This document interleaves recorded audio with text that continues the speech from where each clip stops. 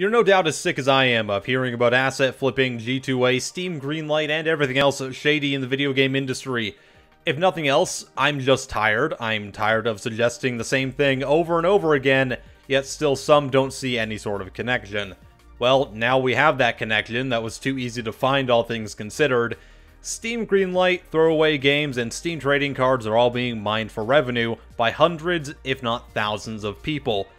There exists a subset of websites, primarily in Eastern European countries like Russia, that have entire economies set up to promote, buy, and sell the terrible Steam Greenlight games you see every single day on the service and this surprises nobody ever. I feel like it's my duty, though, to give a bit of insight into this realm that few could even fathom exists, and yet still includes everything from Steam Greenlight to G2A. Now, most of this is known to Valve, as evidenced in their recent meetings with Total Biscuit and Jim Sterling, along with TB saying so himself. I do feel that it's in the matter of public interest, though, to highlight some of the things I found on these websites in just a few hours of digging. Much of this is users advocating, and in some cases possibly even being involved involved in illegal online activities ranging from hacking to scamming and even fraud. So let's hold our breath and dive in because it's um it's very interesting. This is a member of the website advertising their ability to create Steam Greenlight trash games in roughly 20 minutes or less. Essentially, if you see a game on Steam Greenlight that is an asset flip or doesn't make any sense whatsoever,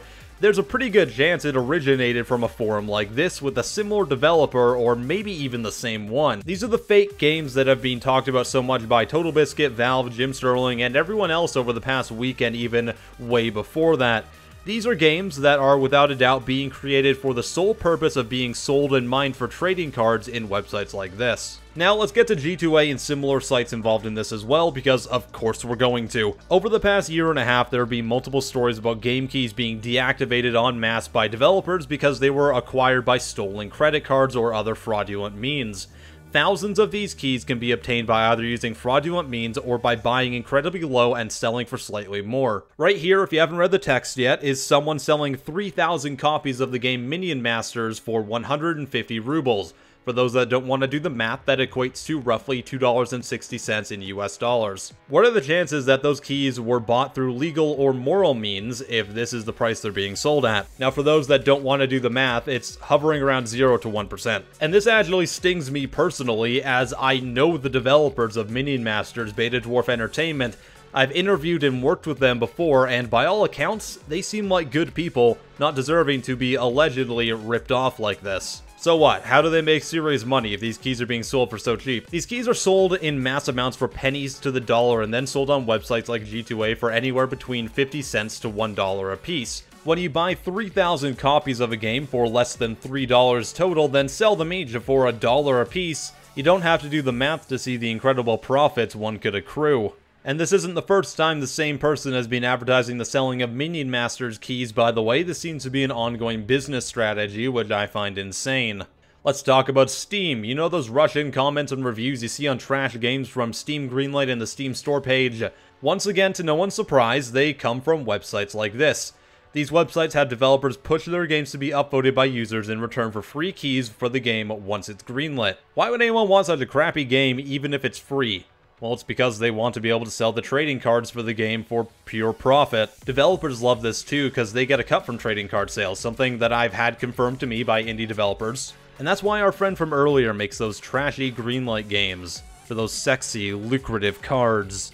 Who the hell runs these websites though, and how do they even get away with it? This actually baffled me, and you're not going to believe who one of the moderators for this website is. That right there is the owner of Dentola Studios, the developer that recently issued a DMCA claim against the likes of Sid Alpha and other content creators when they would accuse him of creating asset flips. This man is a moderator of a website that allows for the sale of potentially illegally bought Steam keys, fraudulent activity, hacking services, and the sale of accounts from all sorts of games. These people are not developers. They're extortionists, they're racketeers. They don't care about making good video games. They care about feeding this online economy they've created to further their own wallets at the expense of consumers, developers, and the entire video game industry. Make no mistake about it, this is a racketeering ring through and through. This website even threatens to ban developers and report them to Steam if they don't provide keys once their game is passed on Greenlight. This is a Mafia-style protection racket.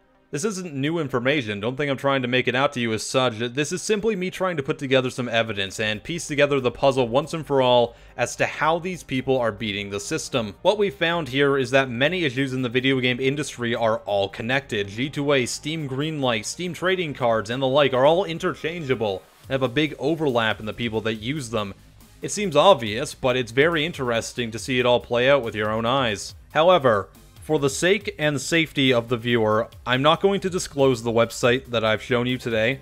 Many of the users on the website are engaged in illegal activity, and I'm not aware of some of their potential contacts or even the possibility of any tracking software that they could be utilizing to attack visitors of the website. So I'm urging you right now, don't visit these websites for your own safety. I feel as though even I'm taking a bit of a risk here talking about this so openly, as DMCAs on my video are honestly the least of my worries. But hey, this is journalism, so that's what I signed up for. Once again, Valve is aware of this, and I do believe they're trying to put an end to it, but they need your help too.